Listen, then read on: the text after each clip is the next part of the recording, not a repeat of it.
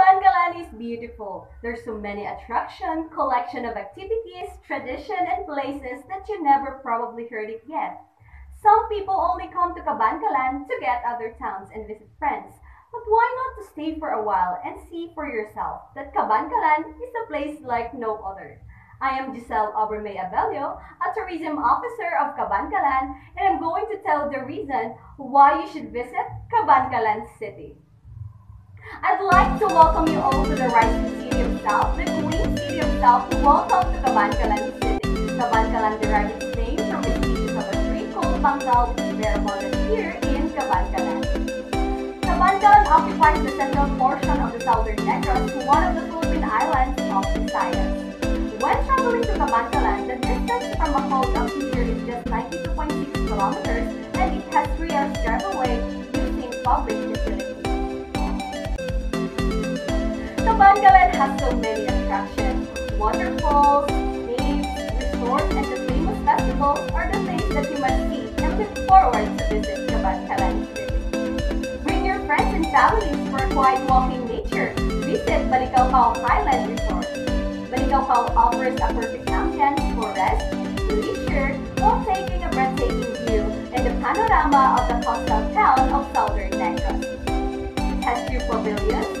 cottages, shed houses, swimming pools, and a cooking area perfect for a family picnic. You like the scenery?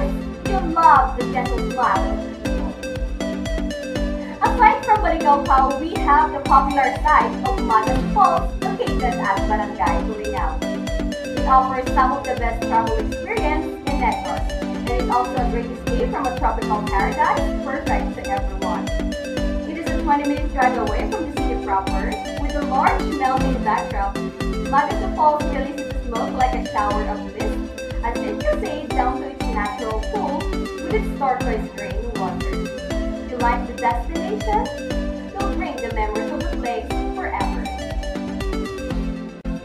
Stay for a while to the famous landmarks of Kabankalan, the City Public Plaza. It is a place where you can witness traditional dances and various activities. Among the myriad of festivity in Negros Occidental, we have the Sinulog Festival celebrated every third week of January. Sinulog is a version of the role known as Atihan indulged in by our ancestors. It is literally a heart-pounding drum beat and the street tribal war dance, a must-see presentation in Negros Occidental. Aside from Sinulog Festival, we have Ujakan sa Kabankalan, a pre-Sinulog presentation of its history, culture, and development through songs, dances, like our festival? You'll cherish the unforgettable moments you have created. Not to be missed with a relaxing trip at Zycoland Resort located at Kabankalan City, Negros Occidental. It is one of our newly places of interest for tourists, a perfect place where you can stay at, enjoy your vacation, and find comfort with the perfect ambience. You like to stay? You'll love the genuine hospitality of Kabankalan. Every place story to tell, and every story to tell, there is unforgettable moments behind it. So every time you think about beauty, think about Kabankalan City. Because life is fun in Kabankalan.